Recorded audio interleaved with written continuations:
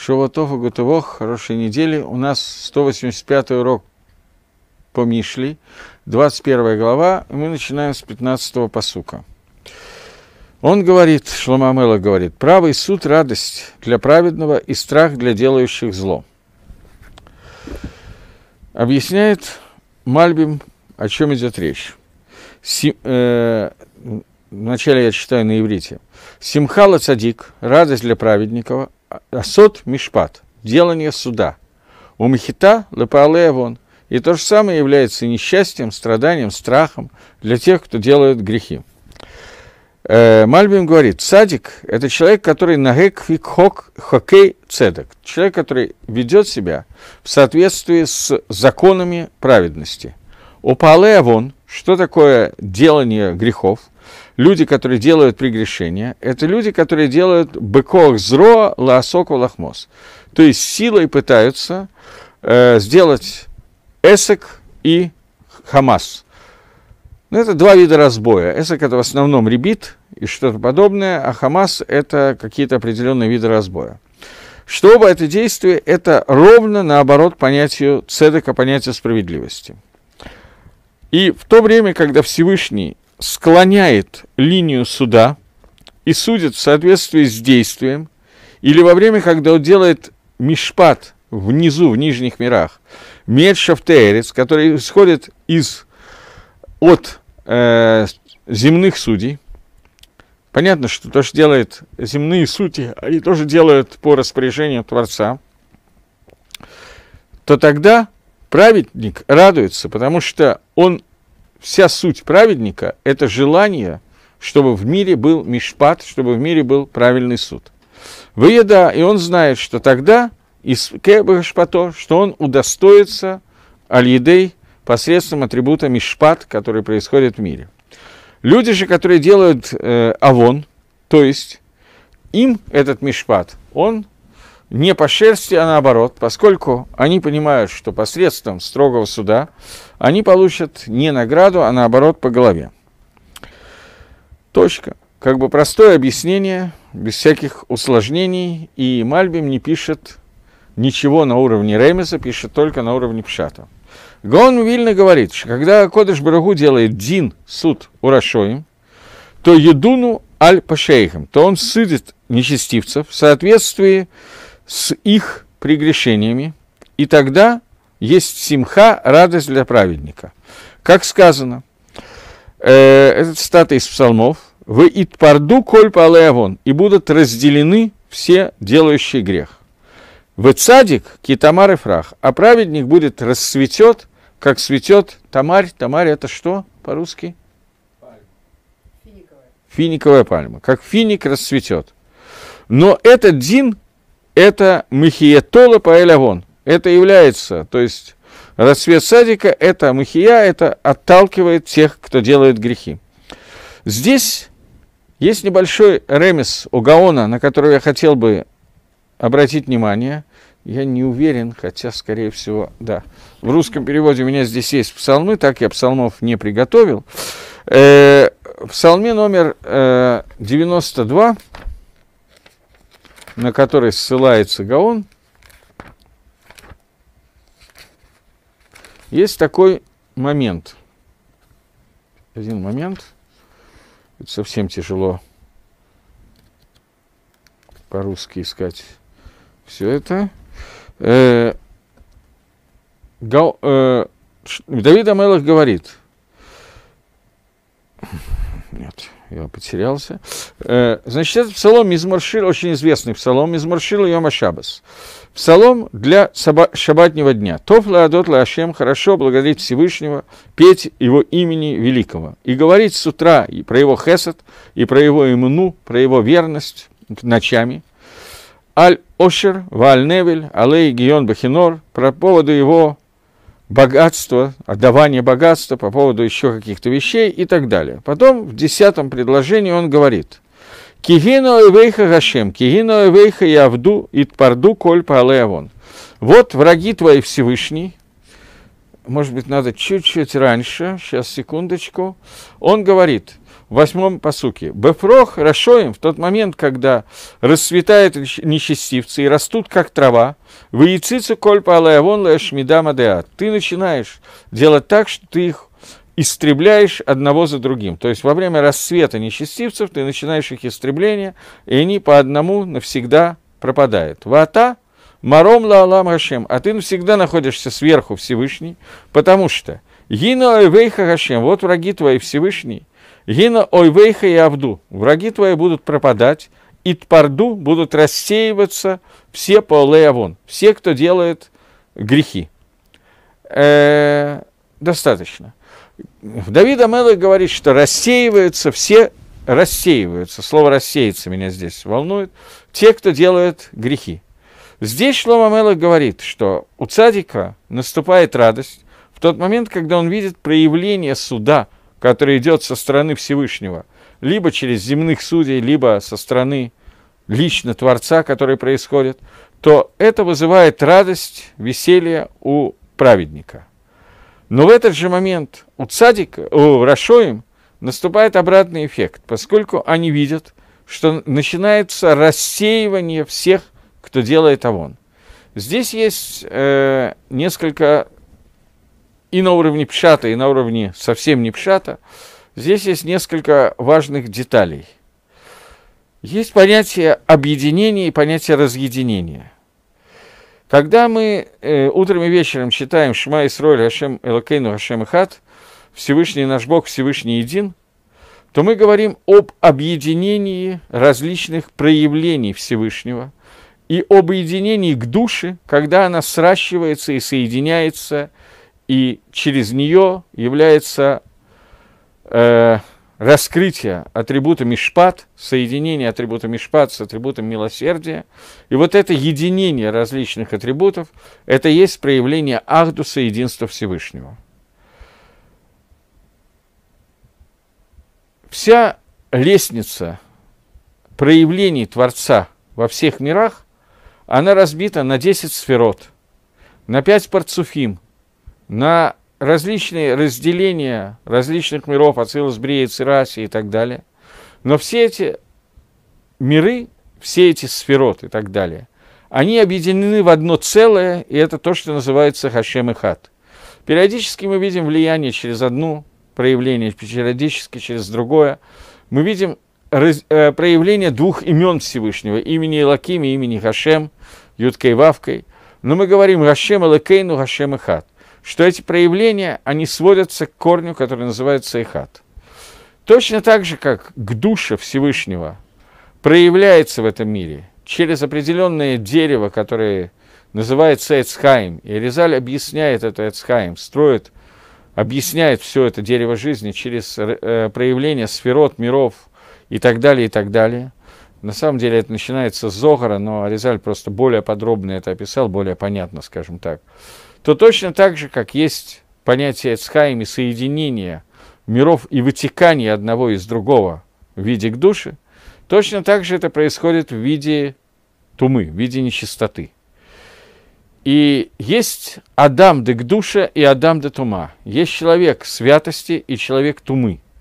Адам де к душе – это Адам решен, первый человек, который был создан. Оставим сейчас все проблемы, которые произошли с тем, что он ел от дерева познания и так далее.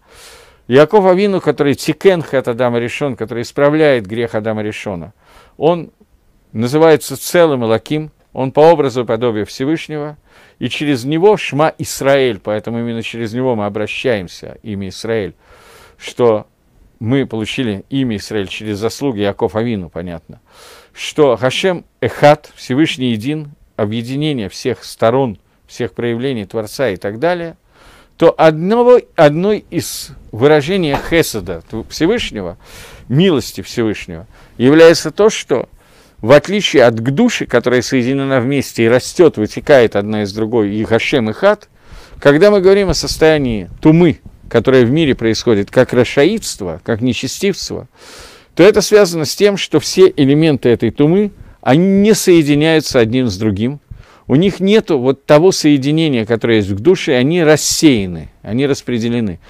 И здесь Давид Амелах а, обращается к Всевышнему и говорит Мизмаршил Йома Шабас, и говорит Арашоим, что ты рассеиваешь де, тех, кто делает авон, тех, кто делает страдания, несчастье, зло. Ты рассеиваешь Рашоим в этом мире.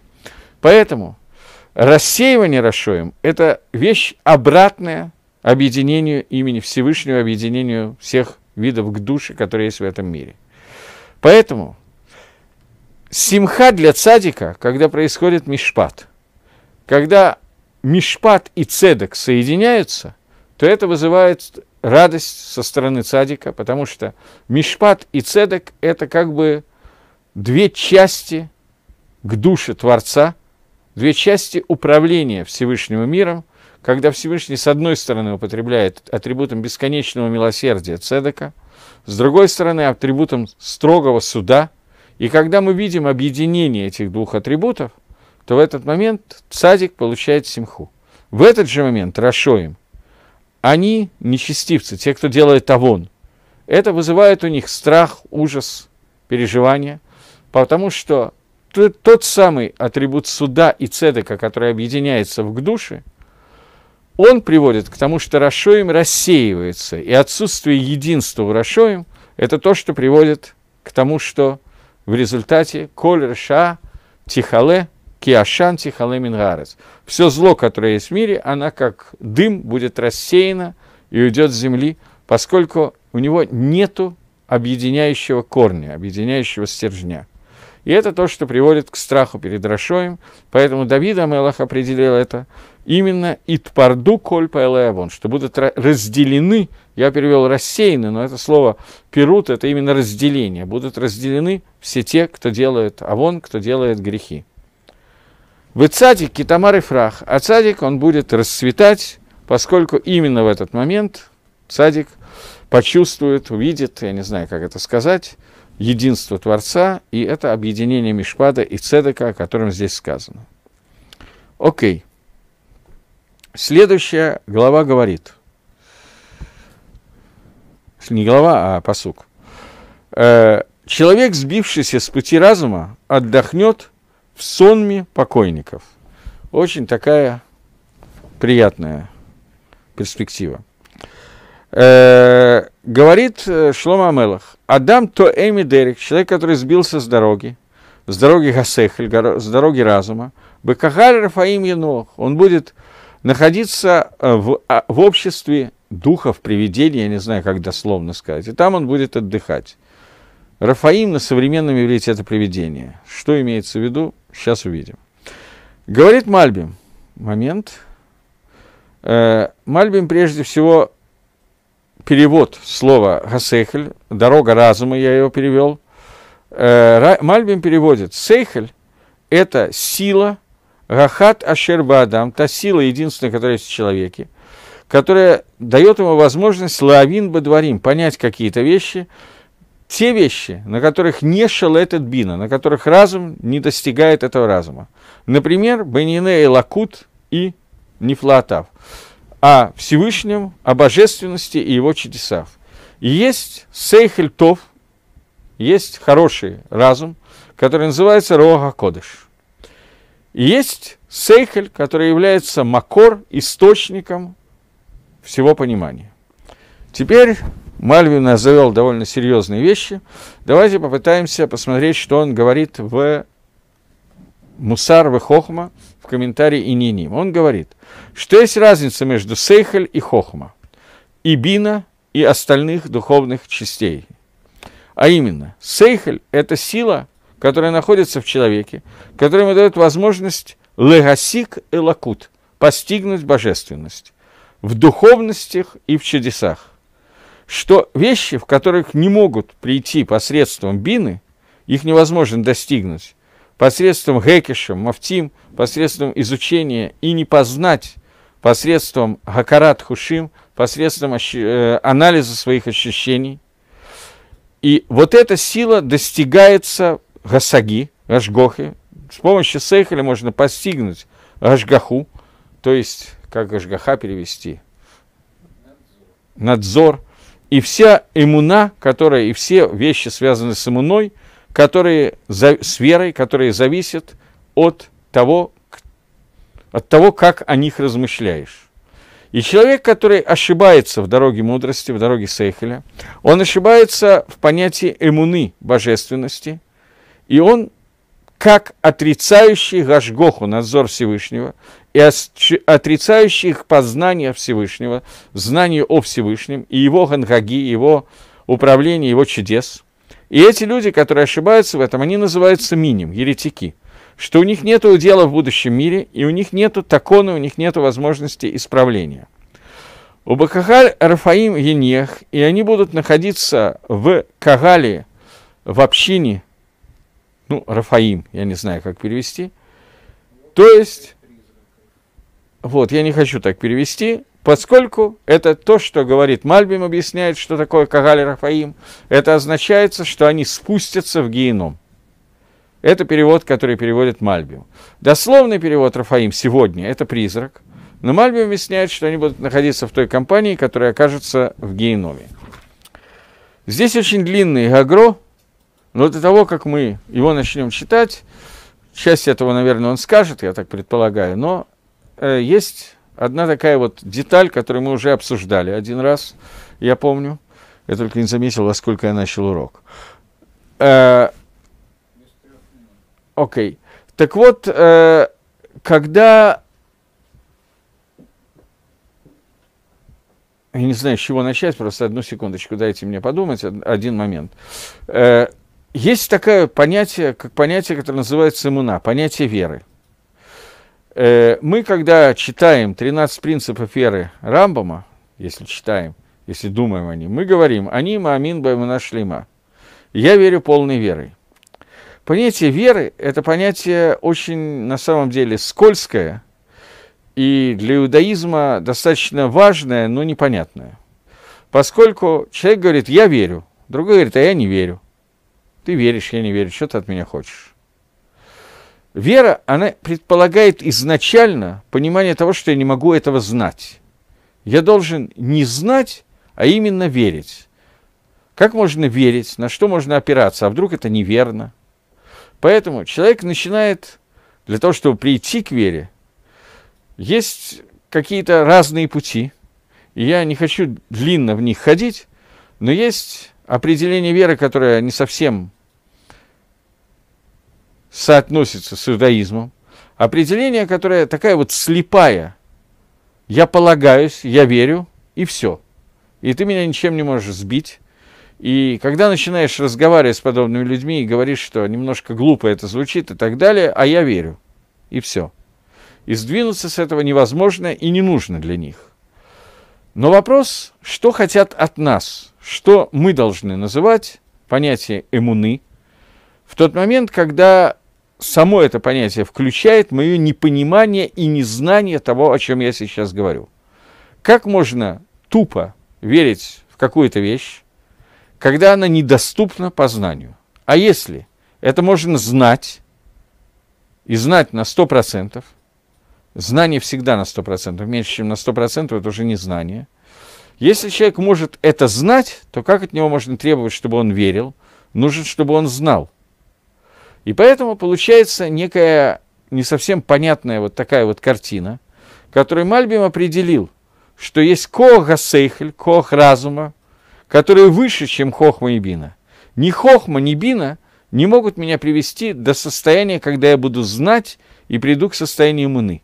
Есть нечто, кто находится, что находится выше, чем Хохма и Бина, через которое я могу попасть в состояние, которое называется иммуна. И поэтому я хочу немножко коснуться и попытаться как-то определить, что такое эмуна на каком-то уровне. Я не берусь полностью отвечать на вопрос, на каком-то уровне. Что от нас вообще требует Всевышний в виде понятия, которое связано с иммуной? Для того, чтобы это сделать, мне проще коснуться некоторых сферот, для того, чтобы через сферот к этому прийти. Существует три верхних сферы, которые называются Кетер, Хохма и Бина. И в другом прочтении этого, это три сферы, это Хохма, Бина и Дат. Хохма, Бина и Дат, где датом является – Э, Хохма и Бина – это две верхних, а Дат – это нижняя. В другом варианте трех верхних сферот, это кетер, хохма и бина. Кетер и дат меняются. В определенных условиях, я не буду входить в детали, это нам сейчас не принципиально. В определенных условиях мы считаем хохма бина дат, в определенных мы считаем кетер хохма бина. Э, дат находится ниже, чем хохма и бина, кетер находится выше, чем хохма и бина. Кетер – это верхнее желание Творца, верхнее проявление Творца, которое мы называем айн, то есть то, до чего мы не можем дойти никакого, никаким пониманием. Хохма – это еш, но еш, который мы понимаем только то, что оно еш и больше ничего. Бина – это уже некое понимание того, чего хочет, какой-то перут, какая-то детализация того, что хочет Всевышний, но на таком уровне, что мы можем задать вопрос «ми», кто, что, но больше понять еще там невозможно. Дат – это соединение хохма и бина таким образом, что человек познает, включает, понимает какие-то вещи. Хохма – это получение сверху, бина – это обработка того, что я получил сверху. И дат – это нахождение с тем, что получено и обработано. В таком кэшере, в таком контакте, в таком хибуре, в таком соединении, что в этот момент человек, который говорит «они юдея», я знаю, это означает, что человек находится в таком уровне соединения с этим знанием, что он не может оторваться от него ни на одно мгновение. Дат – это всегда понятие, которое в Торе называется понятием хибур – соединением. Его символизирует буква Вав. Вав – это всегда хибур, В, И, соединение с тем, что было раньше. И слово «дат» впервые, я много раз это говорил, появляется в Торе, когда сказано «Ваяда Адам от Хава и что?» Адам познал Хаву, свою жену, познал, это значит соединился на таком состоянии, что они превратились в басар и хат, они превратились в единую плоть. Понятие знания – это понятие полного соединения с той информацией, которая получена и обработана человеком. На основании этой информации, когда он пришел в состояние дат чего-то, мы сейчас говорим о Даат Гашем, Даат Всевышнего, он приходит в состояние, когда он переходит в некое понимание на уровне сейхеля, разума, понимание того, что он не может познать, но на основании того, что он знает и четко видит, понимает, проанализировал, он может подняться и начать представлять начать выходить за уровень того, что человек может познать, и коснуться того, что познать невозможно на уровне человеческого разума. Понятие сферы, которое называется кетер, который параллельно мукбали, я не знаю, как по-русски сказать, соответствует понятию дата на уровне уже познания, и дат выходит на уровень кетер, когда человек выходит за уровень человеческого понимания с помощью тех знаний, которые ему даны – и на основании тех знаний и понимания и анализа мира, которые он понял как дважды два четыре, он приходит к выводу, который называется иммуна вера во Всевышнего. Потому что человек не может знать Всевышнего, и познать его невозможно. Это выше человеческого разума. Поэтому у нас есть мецва иммуны, у нас есть мецва веры. Но эта вера должна базирована быть строго на человеческих знаниях, который рождается из Торы, которая является Хохмой, анализа Торы Шибальпе, которая является Бина, и когда это становится частью человека, он с ним соединен на все сто процентов, только тогда он может достигнуть понятия иммуны. И это то, о чем сказано «Эйн амгарец хосит». Человек, который является амгарцем, он не может быть хасидом, потому что он не может достигнуть состояния иммуны, потому что иммуна рождается из Торы – Бихтав и Тора Шибальпе, соединение этих Тор, Хохма и Бина, которые входят в человека, становятся частью его. Мицвод, который он делает, который Михабрим его, соединяет его с Торой и Мицвод, только тогда он доходит до состояния настоящей иммуны, и это то, о чем говорит Мальбим, что есть единственная сила, которая есть в человеке, которая может помочь ему познать Всевышнего, это и есть иммуна. Это сила, которая называется сейхель, сила разума. Иммуна не может родиться из разума, без разума. Иммуна, которая рождается без того, чтобы думать и размышлять, к чему, насколько мне известно, некоторые люди призывают, это не называется иммуной, которая Тора называется, они, которая Тора называет «они маамин баимуна шлима». Я верю в полной верой. Поэтому любой из 13 принципов иммуны, которые формулирует Рамбом, эти вещи, которые называются иммуной – а едией, они не называются знаниями. Есть некоторые из них, первые четыре, которые человек может постигнуть сам, но все остальные должны быть им приняты сверху, потому что если он их не примет, им неоткуда взяться. Они должны базироваться на Торе и вытекать из Торы. И если они не вытекают из Торы и так далее, он просто говорит, что я мамин, то получается достаточно неприглядная картина. Я приведу один пример, который связан с Махлокисом, Лемайса, Раша и Рамбома, но, то есть я говорю не совсем верно, но это иллюстрирует то, о чем я сейчас говорю. Есть Мишна в трактате Сангедрин, очень известная Мишна. «Коль Исраиль ешлем хелек лаламаба». Весь Израиль у них есть удел в будущем мире. «Вейлу шейн лаем хелек лаламаба» тра-та-та-та-та-та. Один из тех, у кого нет удел в будущем мире, это человек, который отрицает Язамейсим. И я не знаю, есть ли у меня здесь Гемора Сангедрин, может быть, и есть. Я хотел бы прочитать одного Раша, просто чтобы на нем побазироваться, если она есть. Одну секунду.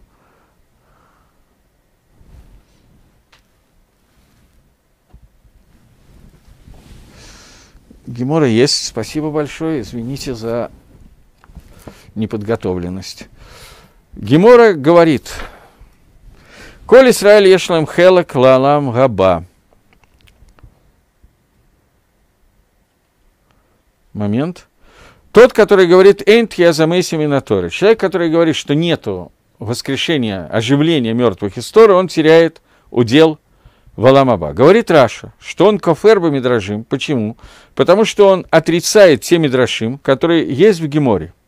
Вылы Каман. Дальше в Геморе будет сказано. Минайн литхя замейси минатора. Откуда мы знаем, что есть оживление мертвых историй? И говорит Раша довольно непонятную вещь. Ваафилу, даже если этот человек моде умаамин, верит и признает, что мертвые оживут, но он говорит, что на этом нету намека в Торе об этом, то он кофер, он называется отрицающей основы. Вгоиль, вокер, шиешт адамейси минатора, поскольку он отрицает, что в Торе говорится про оживление мертвых. Малану уламато, какая нам разница, что он верит в это? Потому что откуда он может знать, что это так? Поэтому этот человек называется кофер гамур, стопроцентно отрицающий основу веры. Раша говорит довольно странную вещь. Человек, который не учил Гемора Сангедрин, не учил Давцади Омадбейт, где сказано, из каких псуким выводятся эти вещи, он говорит, что да, я слышал, я знаю, что есть, верю, полной верой, что есть оживление из мертвых, мертвые живут только так но он утверждает, что нет такого мидраша в Торе, что Тора этого не утверждает, то этот человек теряет удел в Аламаба. Он теряет удел в будущем мире. Рамбам этого не приводит. Рамбам, судя по всему, так не считает. Он не приводит то, что человек должен верить полной верой, что есть оживление из мертвых, которые, о которых есть намек в Торе, и приводить те намеки, которые приводят, приводятся в Геморе. Он тоже знает, что это есть. Но, судя по всему, по Рамбаму, человек, который считает, пришел э, к выводу своими личными наблюдениями за миром и пришел к тому, что есть удел, э, что мертвые живут, этого достаточно. По Раше это недостаточно. Раши говорит прямым текстом, что он должен знать, что в Торе указано оживление из мертвых. Есть мидраши, мисторы, которые указывают об этом. Если он сообщает, что он в это верит без этих кусочков Торы, это не называется иммуна. Что имеет в виду Раша? Что от человека хотеть? Ну, он полуграмотный, он не прочитал Гемора э, סנהדרין צדי עמוד בית, он только дошел до צדי עמוד אלף. Он не знает, что есть такой мидраш. За что он теряет עולם הבא?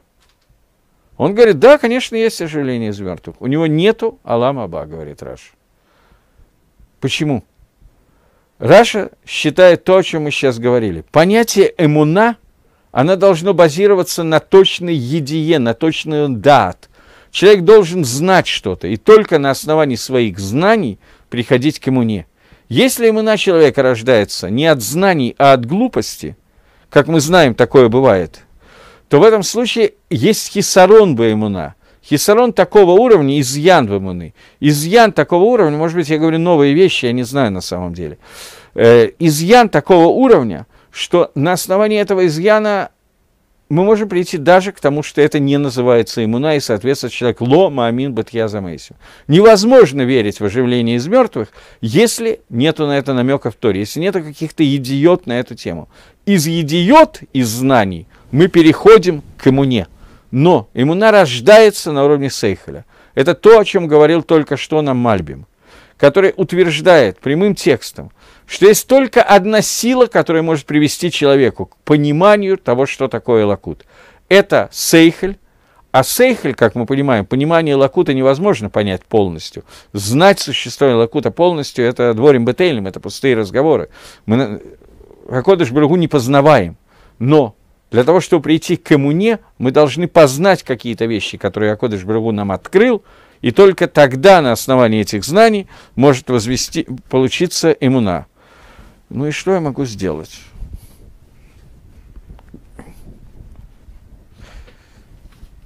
Да. Вот, теперь мы перейдем к чтению того, что говорит на эту тему Гаон Мивильна.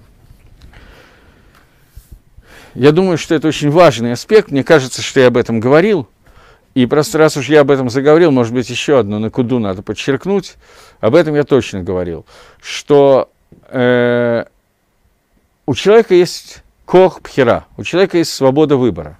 И эта пхера хавшит, которая есть у человека, это неотъемлемая часть вообще всей нашей жизни. От нас требуют, чтобы мы выбрали. Причем понятие выбора – это понятие очень трудное с точки зрения вообще, что от нас хотят, что хочет Гакодыш Брагу. Если я знаю, что мне надо выбрать, это не называется свобода выбора.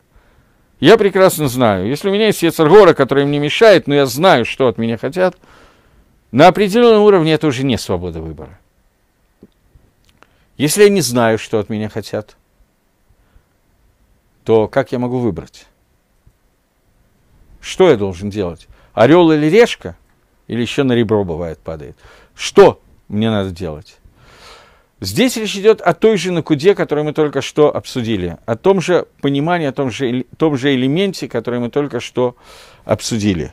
А именно, что человек, у него есть какое-то количество знаний и информации, на основании которой он может экстраполировать, продлить этот график, пройти дальше и понять, представить, что именно ему нужно делать. Если человек не делает этой экстраполяции и ограничивается на уровень знаний и говорит, а здесь я не знаю, поэтому так, как мне удобно, так я и сделаю, это происходит очень часто, чаще всего. Потому что обычно люди живут по принципу, ах, обмануть меня нетрудно, я сам обманываться рад. Но если человек реально хочет не обманывать себя, а понять, что хочет от него Творец – то на основании той информации, которая ему, дан, которая ему дана через Тору, он может понять, что от него требуется. Это просто очень похоже на понятие эмуны, о которой мы сейчас говорили. Понятие, когда я, исследуя своим разумом, понимаю, что от меня требуется. Иммуна – это более такое общее понятие. Пхера – выбор – это понятие того же, ну, того же плана, только спущенное уже на конкретные какие-то вещи. Теперь читаем Гаона. Дело в том, что Гаон очень много написал на эту тему, я не знаю, успеем ли мы прочитать. Итак, Адам Тоэбе Дери Гасейхель Бакагаль Рафаим Януах. Человек, который ошибается по пути, в путях разума, он окажется в общине Рафаим, и там он будет отдыхать. Говорит Гаон, что соответствует с тем, что сказано в Масехте Брохас, а именно, приводится Барайта, Тану Рабонан, когда заболел Раби Лезер, и когда заболел Раби Йоханан Закай, то пришли ученики их, это разные две истории, но очень похожие, их посетить, посетить то есть выполнить митсву Бекур Халим. Поскольку он увидел их, то он начал плакать. Спросили его ученики, Нер Исроэль, Амуда Эмини, свеча Израиля, э, тот, кто является столбом, правым столбом, Патиш Казак, такой сильный молот, Мипнейма Табахей, за чего ты плачешь? Ответил. Илу рифней мелах басар дам гаю малихимати. Если меня сейчас вели к царю из плоти и крови. Шайом кан махар кевер. Сегодня этот царь здесь, завтра в могилке. Афальпихена эти бухей. Я бы плакал, я бы боялся. Ахшав, сейчас. Шамалихим отилифней мелах малхея малахима акодыш беругу. Меня везут, ведут к царю царей Всевышнему. Шиухайва каям лаалам аламим. Который жив и существует все во, во всех мирах навсегда. Шиим коэсала, если он на меня разгневается, кас касалам, то это гнев навсегда. Им асрани, если он меня в заключение пошлет, и сырой и то это тоже навсегда. Имя метени метатоми таталам. Если он захочет меня убить, то это смерть навсегда. Эйни холя ФС Бадварим, я не могу его уболтать, я не знаю другого слова по-русски или ФС Бадварим, умиротворить словами. Уболтать есть такое слово, по-моему. В Илоле Мамон, и не могу ему дать взятку деньгами, как мы уже обсуждали. И не только это. Но ешли фанай шней драхим, у меня есть два пути. Эхад шель Ганеден, эхад шель Гейном. Один путь в Ганеден, другой путь в Гейном. Вейни юдея бейзе малихимати. Я не знаю, по какому пути меня поведут. В Илоевке, и я не буду плакать. Омрулу ответили ему. Рабейну, Бархейну, наш учитель, благослови нас. Омар Лаим ответил им. И рацион, пусть будет угодно. Шедге море шамаем алейхим камарева сарвадам. Чтобы вы боялись Всевышнего, настолько же страх перед небом был вами, у вас, настолько же силен, настолько страх перед басарвадам, перед плотью и кровью. Э, до того, как мы прочитаем Гаона на эту тему, здесь есть очень известная Шейла Рафисроль Салантера. Рафисроль Салантер спрашивает – он обращается к глубоко верующим людям, живущим в Торе, Талмидей Хахомим, людям, для которых Тора – это не пустой звук. И он спрашивает, если каждого из вас спросить, боитесь ли вы генома и боитесь ли вы наказания за аверы, которые вы делаете, то любой нормальный человек ответит, что да, конечно, боюсь. На сколько процентов вы верите в то, что Всевышний накажет вас геномом за аверу, которую вы сделаете? Человек скажет, на 100% я этого боюсь. Если мы так много об этом говорим, и реально считаем, что это так, то почему же мы вообще не боимся наказания? Никак. Если человек сейчас пройдет мимо какой-нибудь э, каменной стены, в которой, ну, есть вероятность одна миллионная, что там в какой-то щели находится змея, то он будет стараться обойти, пройти, не прикасаться, не класть руку в, щель, в щелку и так далее. Возьмем более простой пример. Э, человек идет мимо какого-то места, где находится надпись «Осторожно, злая собака». В общем, единственное, чем он рискует, что, может быть, собака его облает. Есть какая-то вероятность, однако, миллиону, что собака не на цепи и выскочит оттуда, и, может быть, даже чуть-чуть укусит. Человек постарается обойти стороной это место. Тот момент, когда человек стоит перед свободой выбора, сделать авейру или не сделать авейру, эта ситуация значительно более суровая. Авейра находится, наказание генома за авейру, это 100%. И человек это знает и в это верит. Но если это так, то как может быть, что он абсолютно не верит в то, что ему дадут наказание за эту авейру? Если он так сильно верит, то почему он вообще в это не верит? Что я имею в виду? Мы видим, что люди делают один за другим авейру. И это Кушьяров Исроэля Салантер. Он обращается к человеку, который верит, соблюдает, знает и так далее, и так далее. Почему Ират Шамаем от нас находится так далеко? Боясь неба, у нас находится так далеко. Раби Йоханан бен Закай или Раби Лезер, примерно одна и та же история – он отвечает, что браха, которую я вам даю, чтобы у вас был Ират Шамаем так же, как Ират Басар Вадам. Так же, как вы боитесь человека. Что это означает? Слово Шамаем происходит от слова Шам, там. Он находится где-то далеко, где-то непонятно где, непонятно что, в другом измерении. Измерение, которое на нас влияет очень-очень мало, потому что если бы нас хотя бы мы боялись Шамаем так же, как собаки, то мы бы никогда не сделали авейр. Грубо говоря, все люди, без исключения, я так думаю, может нет, многие люди, нарушают правила дорожного движения, переходят дорогу на красный свет, превышают скорость, э, проезжают на красный свет, если ведут машину и так далее. Обычно большая часть людей в трезвом состоянии этого не делают в тот момент, когда рядом находится милиционер. Около полицейского этого не делают. Даже стараются, чтобы им сообщали о том, что здесь находится полицейский. Видно иногда, что вдруг машина начинает резко снижать скорость. И так аккуратненько, шепотом ехать, отдавая честь полицейскому. Когда мы видим полицейского, мы делаем аверы. Если бы вы понимали, что Акодыш Барагу нас видит всегда, это тот полицейский, который на стреме находится все сто процентов времени, то у нас не было бы ни одной авейры, которую мы сделаем. Но Ират Шамаем, он находится шам, там. Геном где-то далеко, а мы где-то близко. Поэтому сейчас здесь хочется чего-то определенного, и страх наказания отступает перед этим желанием сейчас конфетки. У детей это иногда видно еще сильнее. Ребенок, которому сейчас вот предлагается какой-то петуй, какое-то чего-то вот, ему надо сейчас.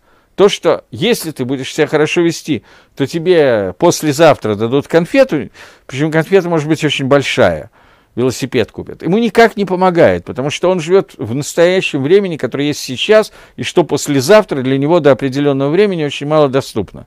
Когда он вырастает, он начинает понимать, что такое завтра, послезавтра, но это потому, что он уже видел, что завтра иногда наступает. Поскольку мы находимся в состоянии, когда мы не видим, как наступает то завтра, где находится наказание, то Ират Шамаем у нас стремится к нулю – Поэтому говорит Броху Раби Лезер, Раби Ихнан Бадзакая, говорит Броху, пусть вы будете бояться небес, так как боитесь Басар Вадам. Говорит Гаон, есть три вида диним суда, которые проходят в человеке. Первое – гейном. Вторая – гилгуль, переселение душ, про которое все уже слышали, которое есть либо в домем, либо в цамеях, либо в, нематери... э, в э, неживую природу, камни, минералы – либо в растительный мир, где нету никакой свободы выбора, никакой нормальной жизни, и душа, которая находится там, она, все ее наказание в том, что она переживает по поводу той аверы, которую она сделала, потому что именно этим людям, которые переселились, этим душам, которые переселились, возьмем, к примеру, камень, им сообщают, за какую аверу они находятся в камне, и так может продолжаться 100, 200, 300 лет, может продолжаться очень мало времени, но все это время это переживание, страдания по поводу того, какой я был идиот, что я это сделал. Третье, что он не, его вообще не судят, и у него э, нету, он не будет жить, его вообще не судят. То есть наказание, когда душа попадает в гейном, наказание, когда душа переселяется в камень, это наказание, которое ведет в результате к какому-то исправлению. А есть, его не судят, никакого наказания нету, а просто все, ничего нету. Его нету. Он не живет, все, все закончилось. И это самое тяжелое из всех наказаний, и это наказание, которое называется Рафаим. Вот то, что здесь сказано, что человек, который уходит, как дословно сказано, человек, который ошибается в дорогах разума, он попадает в Кагаль, в общину, которая называется Рафаим, и там он будет отдыхать. Никакого наказания, полный отдых. Что это называется что он нихрат миэрец гахаим. Он, ему сделан карет из земли жизни. И это то, что сказано, что если человек КС гневается, он попадает в геном. Если человек Асруни арестован, то он бы Гилгуль. В том числе Гилгуль, не в том числе Асруни, я Асруни, э, это значит, э, а слово Асира, тюрьма, э, заключение, то это значит, что он попадает в Гилгуль, Домем, Цомея Хай в один из трех вещей, не в человека, не в то сооружение, у которого есть творение Всевышнего, у которого есть свобода выбора, а он оказывается в состоянии заключения, его душа заключена, я не знаю, в какой-нибудь собаке. В собаке это лучше, потому что собака живет 15 лет, то есть есть максимальный срок заключения. А он может оказаться в заключении значительно более серьезным в камне, где срок заключения может быть даже 16 лет и сотни лет – и так далее. Но это какой-то конечный результат, какая-то жизнь. Но если мамитени, но если ты меня убьешь, то есть он будет умертвлен от всего. Это метаталам, это то, что говорит Раби Лезер, что ты можешь меня послать в Гилгуль. Я еще раз слова Раби Лезера зачитываю. Дело в том, что когда теряется иврит, то сразу это теряется. Он говорит, что если Всевышний КС на меня, он на меня гневается, объясняет, что такое КС, это геном, отправит меня в геном. Если он меня посадит в заключение, то есть в Гилгуль, в неживую природу животных или растительный мир, то это тоже Алам – это какая-то жизнь, но ужасная жизнь. Но если он меня убьет, то это полная смерть. Что такое убьет? Это Эмик Рафаим. Это вот это вот Рафаим, о которых идет речь. И это то, что сказали наши мудрецы в Геморе Псохим. Сказал Раф Йосиф. Сказали, люди говорят, КП кип, э, кипа хита нигра, быгава нисрав хардаля. Ну, здесь несколько поговорок, которые я не думаю, что нам надо сейчас в них входить, но имеется в виду, что все, что здесь сказано, не совсем понятно. Что это значит, все эти измененные языки, которыми какими-то пословицами, которые не имеют прямого смысла, зачем они все сказаны? Но это означает то, что мы написали, что кипа де хита, что э, кипа, шапка, закрывающая хиту, закрывающая пшеницу, это геном. Садна бы сидный, это простыня какая-то. Это то, что человек заключен, душа человека заключен, заключена в пожизненное заключение, то есть это гилгуль, который происходит в домем или в цамеях, когда человеческая душа оказывается в растительном или неживом мире, или даже в животном, но в том, что не имеет никакого свободы выбора, и она заключена, она не может ничего исправить, потому что Гилгуль, который отправляется в человеческое тело, у него есть свобода выбора, и, соответственно, можно сделать какие-то мицвод и исправить то, что было сделано. Гилгуль, который находится в неживом мире, живом мире, растительном мире и так далее, он исправить ничего не может.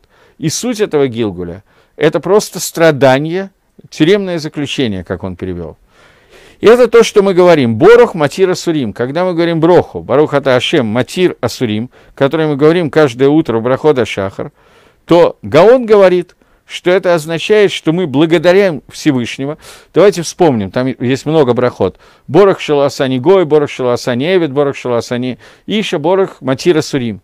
Браха Матира Сурим – это продолжение этих брахот. Мы благодарим Всевышнего за то, что наша душа оказалась в теле, которое обязано соблюдать мисвод, и, соответственно, в теле, которое служит Творцу и выполняет некие функции в этом мире. Матирус Рим – это благодарность за то, что он вывел нас из состояния домем, из состояния, в котором может оказаться гилгуль души, который будет в состоянии асурим, тюрьмы. Тюрьма – это значит место, в котором нет возможности оттуда выйти, нет возможности совершать авойду. И мы благодарим Всевышнего, что Он нас освобождает от этих, освободил от этих гилгулем, и что мы находимся в состоянии человека, а не в состоянии чего-нибудь другого. Э, и это то, что называется, но есть еще одна вещь, еще одно состояние, состояние, когда человека вообще не наказывают, и он просто умирает метат алам навсегда – Потому что все эти наказания подразумевают какой-то тикун, какое-то исправление, какое-то возвышение души. Кроме одного, когда он превращается в Рафаим. Я, честно говоря, не до конца знаю по-русски значение слова «привидение», потому что основные мои э, детские знакомства с привидением были в основном из того, как Карлсон играл в «Привидение» с Фрекенбок, поэтому на большем я не знаю, что имеется в виду. Но Рафаим, который имеется в виду здесь, это Рафаим, который все, Тут больше уже нету жизни. Все. Это метат Алам, о котором идет речь. И это то, что сказано. Адам, который Тоэ, который ошибается в Дерих Сейхель, в том пути, который указывает разум, как мы уже сказали, Адам, Бемот Адам Раша, есть посук, когда умирает человек нечестивец. Это речь идет про трех нечестивцев Израиля. И четвертый из них называется Адам, что он ошибается в дороге жизни, дороге сейхель, дороге разума, и теперь он не исправляет то, что было сделано, испорчено в первые три раза, и тогда он попадает в Кагаль Рафаим, и там он оставляет, остается и умирает Метат Алам. Здесь Гаон раскрывает некоторые элементы, которые связаны с определенными накудот кабалы понятия Гилгулей, и Шита Гаона, которую он здесь нам раскрывает, что человеку дается три гилгуля, в которых его душа может исправить то, что было сделано. То есть существует первое переход души в этот мир. Я не хочу очень, я сейчас очень кратко говорю, это не совсем верно то, что я говорю, поэтому э, человеку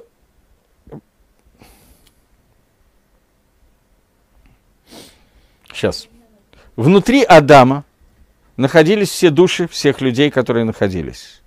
Они находились внутри Адама Решона, первого человека. После того, как Адам согрешил, те души, которые должны спуститься в этот мир и участвовали в грехе Адама, это основное количество душ, они первые три раза появляются в этом мире в аспекте, который называется макив. Они парят над каким-то человеком, и при этом они получают какую-то душу от мисвод этого человека, но внутри души этого человека они не находятся. Они помогают в исполнении мицвод, и из-за этого избавляются от определенной тумы. После этого душа спускается уже внутрь какого-то человека, это основная душа человека. И если она сделала какие-то вещи, которые плохие вещи, то ей дается три попытки исправить. Если она начала исправлять эти вещи, то она продолжает приходить и исправлять в различные гилгулим в этом мире. Гаон здесь нас сводит судью и говорит о том, что если за три попытки исправить душа ничего не исправила, не начала исправления, ухудшила или ничего не сделала, то в этом случае ее работа заканчивается в этом мире, и она попадает в состояние Рафаим, в состояние, которое мы только что читали. То есть она полностью истребляется из этого мира, происходит карет нашамы, и эта нашама больше не участвует. Ее функцию принимают какие-то другие души, которые должны ли такен ее хет, но этого человека как такового этой души больше не будет. Как правило, это, я не знаю, как правило, откуда я это знаю, я точно не знаю, но насколько я понял, как правило, этого не случается, и какой-то тикун делается. Но человек, который ошибается, делает ошибку Бадерих Сейхель, и не просто ничего не исправляет, а попадает в состояние апикарсута из-за того, что то, о чем мы говорили, вместо нормальной иммуны, он приходит вместо иммуны к... Короче говоря, его дат расположен в таком состоянии, что он не может с помощью дат дойти до состояния иммуны, я знаю, то, что знаю, знаю, то, что не знаю, не знаю, и он не может экстраполировать выше и подняться выше до состояния иммуны Всевышнего, то в, этом ситуации, в этой ситуации человеку дается три попытки исправить эту авейру. Если он эту авейру не исправляет, то в этой ситуации эта душа полностью отрезана, ее больше не существует.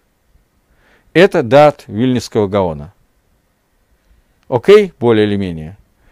Потому что это так, такие... Гаон нас завел в тяжелые слои атмосферы, но он этим занялся, считает, что нам нужно это знать, поэтому используем то, что он сказал, для понимания. Следующий посук, какой у нас следующий посук? Это посук номер 17. Да? Он говорит, да, успели. Любящий веселье человек нужды, любящий вино и тук не разбогатеет. Э, Иш, начнем с Иш Махсор Огев Симха. Наверное, все-таки надо одну секунду. То, что я все говорил, это был комментарий Вильнюсского Гаона, который учит Торат Гилгулем, который учит понятие Гилгулим переселения душ. Есть письмо Рафиуда и Гаона, который считает, что Гилгуль, понятие переселения душ, в Торе отсутствует вообще. Естественно, он совершенно иначе учит этот посук Мишли, чем Гаон Мивильна. И Раф Иуда и Гаон считает, что это понятие, которое пришло в иудаизм, в Тору, из других религий. И очень харифно относится к тому, что этой вещи не существует. Насколько я себе представляю, в Рамбаме тоже ни разу не употреблено слово «гилгуль», и, судя по всему, он тоже считает, что гилгулем нету. Того же мнения придерживается Равсадия Гаон. Вот это целая определенная школа, до которых не дошли книги по Каболе, книги Зогара и так далее. Но Гаон Мивильна идет по пути Раби Шимон Барьяхая, по пути Зогара – который на, на Торет Гилгулим строит очень-очень много, и с помощью Гилгулим объясняет многие вещи, и в том числе, ну, я не знаю, в этом отдельном отрывке, который мы только что читали, он объясняет, что произошло между Маширабейну и этим египтянином, что Маширабейну был Гилгуль Гевеля, и должен был Литакен, тот хет, который произошел в это время, и так далее. Это прямо в Тикуне Зовар написано прямым текстом, и поэтому э, как бы принято сегодня опираться на Торет Гилгулим, но надо знать, что эта вещь связана с Махлокисом, я просто забыл это сказать, и каждый раз, когда меня заносит, я говорю на эту тему, потому что об этом заговорил Гаон, я сообщаю, что это не такая простая вещь, поскольку здесь существует определенный махлокис на эту тему, но Гаем сегодня уже принято как бы вот так вот пользоваться этой Торет Гилгулем. Итак, Адам Туэми, э, слиха, следующий посуд. Иш Махсор Агев Симха, человек, которому не хватает, он любит симху. Огев Яин, но тот, который любит вино и масло, он никогда не разбогатеет. Что имеется в виду? Говорит Мальбим, что есть разница между Сейхель и Хохма, и Бина. Сейхель, Хохма, Бина. Три вещи. Виетер Кахода Нефиш, Сейхель, Хохма и Бина – это с одной стороны, и остальные силы души с другой стороны. Сейхель – это Кох Рахат Шеймацела Адам Лаасик Байлахут Убрахниют Ванифлаот. Это та сила, которая... Слиха, я не туда полез. Я Мальбим на прошлый посуг взял, извиняюсь. Ишмихсар, он говорит, что человек, который любит симха, он постоянно находится в состоянии радости. Но человек, которому не хватает, то есть симха его будет непостоянной, потому что он ощущает все время недостаток. И любая вещь, которая его радует в начале, она в конце концов приведет к тому, что он на нее будет смотреть, и у него будет, э, какой, это будет на какой-то, эта радость будет на какие-то определенные дни. И не будет потом в дальнейшем его радовать, потому что всегда нужно еще что-то. И он захочет увидеть что-то взамен, что-то заменяющее то, что вчера было радостью, какую-то новую вещь, которая радует. И это будет постоянное состояние, ему постоянно будет чего-то не хватать. Сегодня весело, а к вечеру это уже надоело, надо что-то другое, а это уже недостаточно. Но человек, который любит вино и масло, то есть он любит пить вино и обмазывать свое тело всякими притираниями, я другого слова не знаю, этот человек никогда не разбогатеет, потому что все его деньги будут кончаться, и не только то, что ему будет не хватать, но кроме этого закончатся все его деньги. Что не так? Человек, который любит радоваться, деньги его могут не кончиться, но ему радости будет постоянно не хватать. Ну, я думаю, что Сейчас, секунду, может быть, мы можем успеть? Нет, мы не можем успеть. Я думаю, что продолжение этого посука мы прочитаем в следующий раз, потому как уже время. Вот, спасибо и до новых встреч в эфире.